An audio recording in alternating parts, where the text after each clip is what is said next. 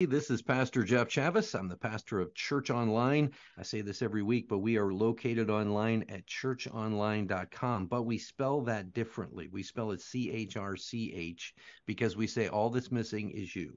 Chrchonline.com. This morning, it seems as if I'm looking everywhere and we've turned from October, November, and it seems as if everyone is gearing up to Christmas. Tell me that you haven't noticed this the stores, everywhere you look. In fact, yeah, some of the stores, it seems like we've been gearing up to Christmas since July. But except for maybe the grocery stores and Cracker Barrel, most people are forgetting what comes in between Thanksgiving. This morning, I just wanted to encourage you. Number one, we're going to spend time in giving thanks, of course, but I just want to encourage you don't pass Thanksgiving. It seems as if now it's almost become this throwaway holiday, just a little something in the mix there that we do. And we almost forget about it. We almost pass it by. But I've decided that during the month of November, every Friday, when you join me here on Battleground, I'm going to give you a reason to give thanks, a biblical, scriptural reason to give thanks. But I could tell you that Thanksgiving is so instrumental in our faith, so paramount to everything that we do. And I want to tell you, it also changes your attitude. I promise you that if you could spend more time in giving thanks to God, it would change everything. Now, I personally love Thanksgiving because it is one of the few holidays that maybe that's why advertisers and and stores uh, move right to Christmas is it's just not as commercial. We can't make quite as much out of it. Again, except for the grocery stores and Cracker Barrel. Thanksgiving, though, is so important to us. And one of the reasons that we'll look at first is Jesus. Jesus had a lifestyle of giving thanks. Let me read just a couple of verses. Matthew 11, 25. This is as he's teaching. At that time, Jesus answered and said, I thank you, Father. Hear those words. I thank you, Father, Lord of heaven and earth, that you have hidden these things from the wise and prudent and revealed them to babes, to little children.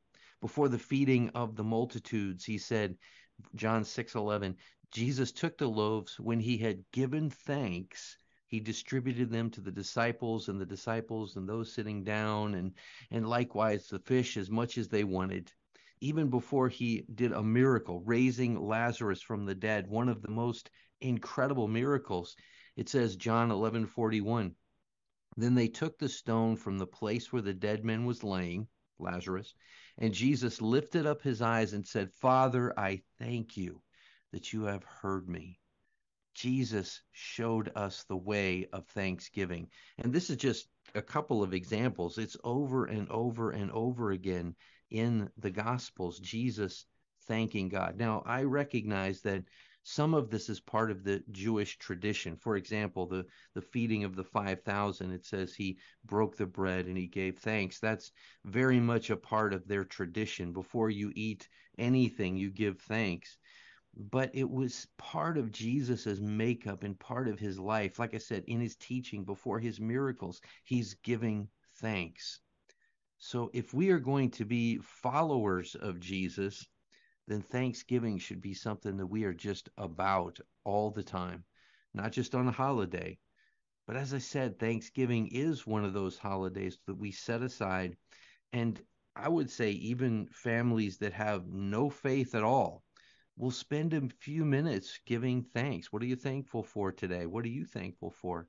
And we say thanks, even though in so many cases we may not know who. And, and in fact, that may be one of our greatest open doors to evangelism is talking to people that we know who don't know Jesus and ask them, What are you giving thanks for?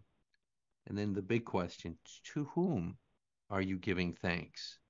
Because I know that'll stop a lot of people, but it also make a lot of people say, Well, I'm I'm giving thanks to God. Let me give you another scriptural example. So, number one scriptural example, Jesus gave us the example. And if we're going to be followers of Jesus, we want to do things the way Jesus did. But here's a great one. This is First Thessalonians 5, 16 and 17. The Apostle Paul, backside of Thessalonians, he's telling them some practical things they need to do. This is how you live your life for Jesus. And in 1 Thessalonians 5 16 and 17, he says, Rejoice always, pray without ceasing, in everything give thanks, for this is the will of God in Christ Jesus for you. Oh, you can't miss that. In everything give thanks. The apostle paul writing to this church and and he's saying everything the good the bad the ugly give thanks in everything. And notice the second part for this is the will of god in christ jesus for you. Jesus gave us the example of a life of thanksgiving. The apostle paul says thanksgiving is at least in part what the will of god is in our lives. So many of us we want to know that right? We want to know what god's will is for us. What's god's will for us in this situation in this decision? But i don't know if we've considered that before. No matter what giving thanks. Again in the process like there are people on our prayer list today that are going through medical struggles. This may sound really challenging but are we giving thanks in everything I promise you that even if we've been given that diagnosis, there's something to give thanks for. We could give thanks that we have a doctor. We're in a place where we can receive good medical care. Oh, because you got to know in the United States, we've got some of the best. We can always give thanks in that. But then, maybe even in this challenge, this struggle that we may be suffering through, we can also give thanks in the struggle for the struggle because that is the thing that God does as He is molding and shaping, as He brings us to these places. And we just need to thank Him. Give thanks in everything, for this is the will of God in Christ Jesus. We always think of giving thanks for the good. I don't know if we ever give thanks for the not so good for the difficulties, the challenges. But again, if we read the scripture, that's how we are being grown, molded, and shaped is through the challenges of life. So I want to encourage you. I don't know what you're doing this morning, but just stop for a moment. I'm going to pause here and we're going to switch gears and we're going to pray as we always do on Fridays. And I want to begin right there. What do you have today to give thanks for? I promise you there's something maybe you're having a really tough day, maybe you're being challenged today, maybe financial struggles, medical problems, maybe there's something that's really weighing on you today. You can give thanks that God is doing something with it. I promise you that. And then, if not that, just thank God for what you do have right there. Today, as I'm sitting in my office, I'm I'm thanking Him. I'm thanking Him. I have the ability to do this.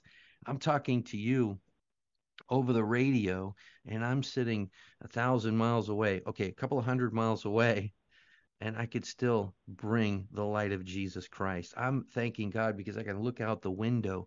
I could see my neighborhood, and I'm thanking you, thanking God for that. I've got a car in the driveway, I got a roof over my head. There is so much to be thankful for.